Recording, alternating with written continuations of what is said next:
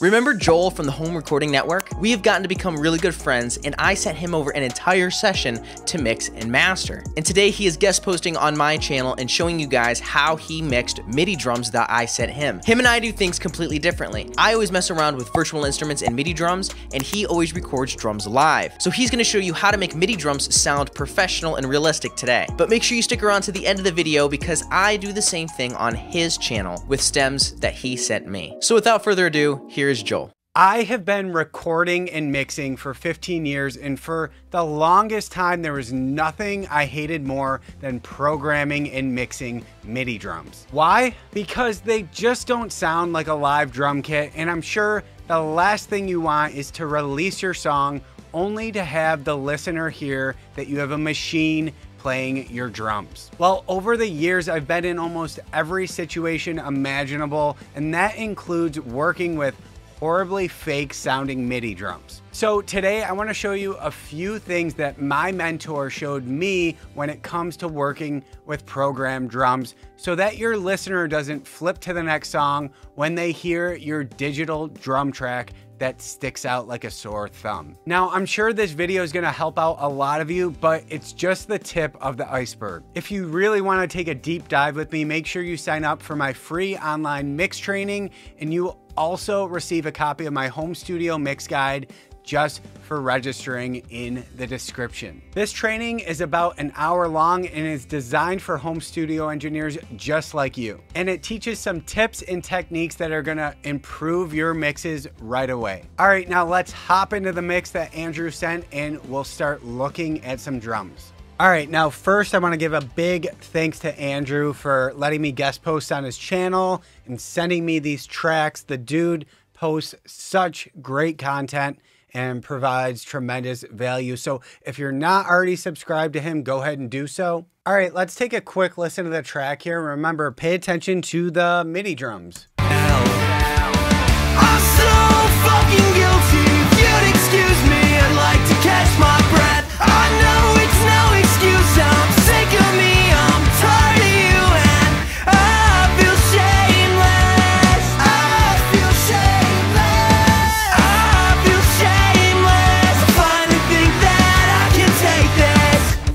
those drums sound like some punk rock drums and they sound pretty realistic because they're not sticking out too much. And that is part of it. By the way, Andrew, if you could link the band in the description of the video, that'd be great because I don't know who this band is and I really loved this song and enjoyed mixing it. But my first piece of advice about MIDI drums doesn't have anything to do with the mix.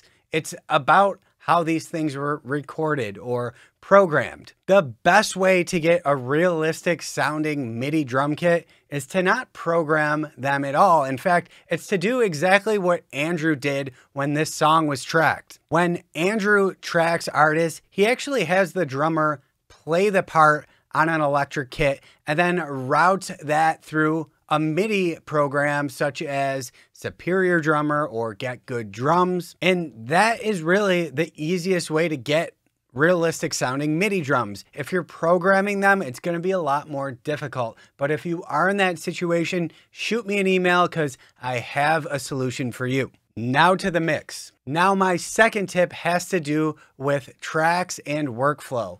So when I'm working with MIDI drums, I don't want to work with MIDI files, right? I want to work with actual tracks. So if we start expanding some of these, we can see their actual wave files.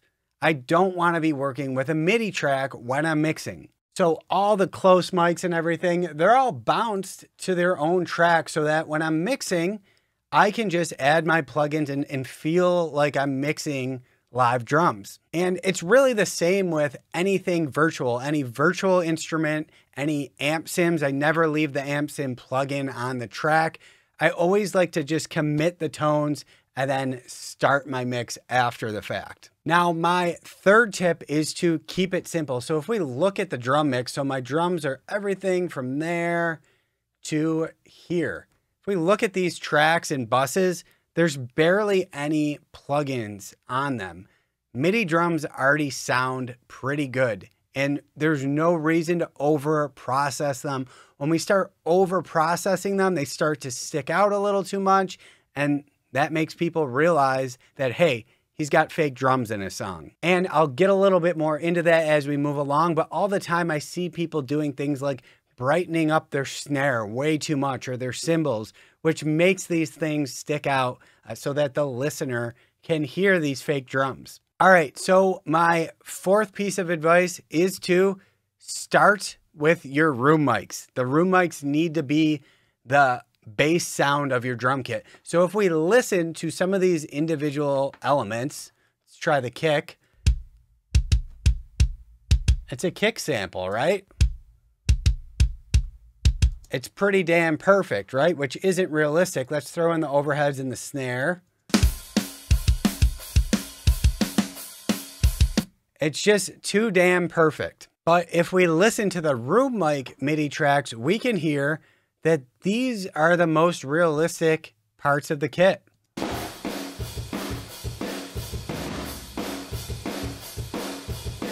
And that room sound is going to help your close mics, your close MIDI mics, fit in and sound a little bit more realistic. So when I am working with MIDI drums, I start with mixing and balancing the room mics first and then blend in the close mics so that the room mics are actually the overall picture of the kit.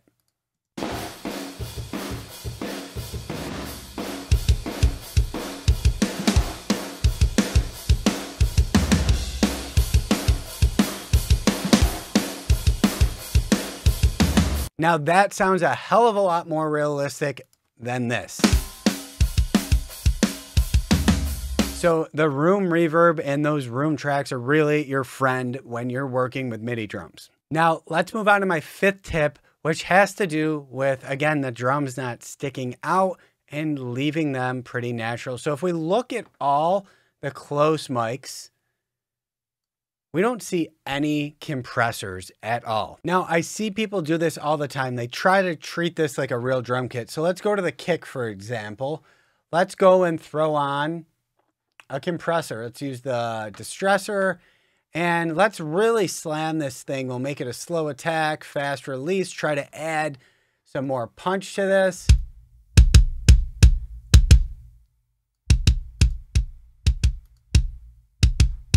Slam it even more.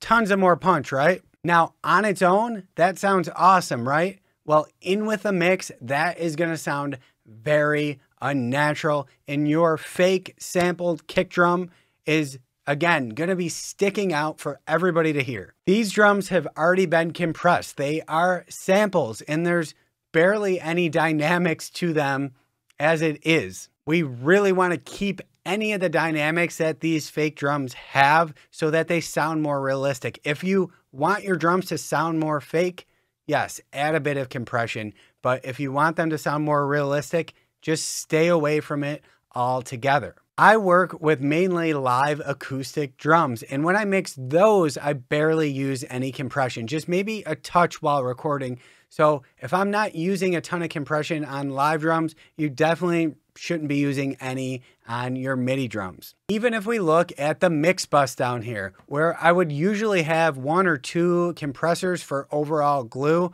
there is no compressor on this mix bus because I want any dynamics that this mix has left at the end. Now, I do have some compression on the room tracks and it's very exaggerated compression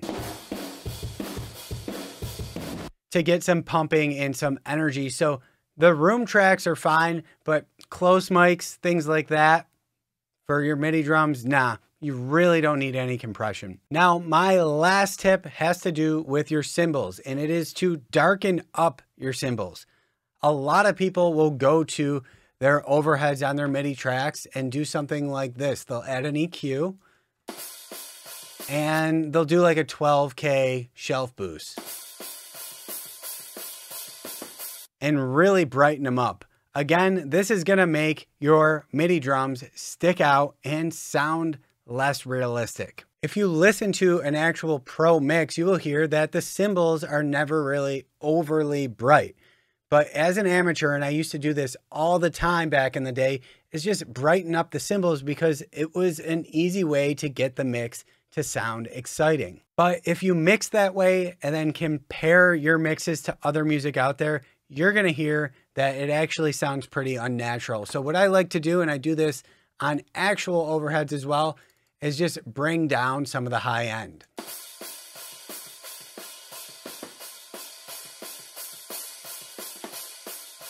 And darkening these up gets them to sound a bit more realistic. What I want you guys to do now is head over to my channel and see what Andrew did with the tracks that I sent him. This was a fun little experiment for us to do because we got to see how each other worked. And remember guys, we're always learning here and it really never stops. You got to remain teachable. I hope you guys learned something from me today. Happy mixing.